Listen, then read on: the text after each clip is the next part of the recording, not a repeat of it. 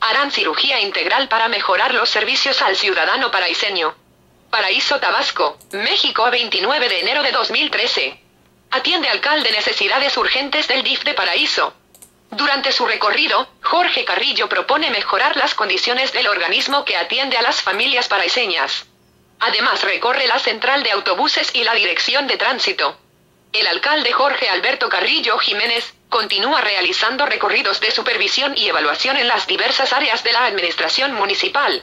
En la visita realizada al DIF de Paraíso, fue informado de los avances realizados por el personal de la dependencia, en cuanto a la revisión administrativa de los bienes, limpieza y pintura del edificio.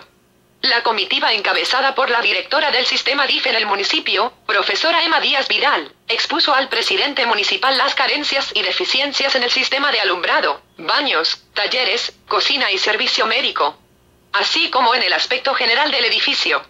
El municipio giró instrucciones inmediatas para la atención de las necesidades que enfrenta la dependencia encargada de la atención y el desarrollo integral de las familias paraiseñas.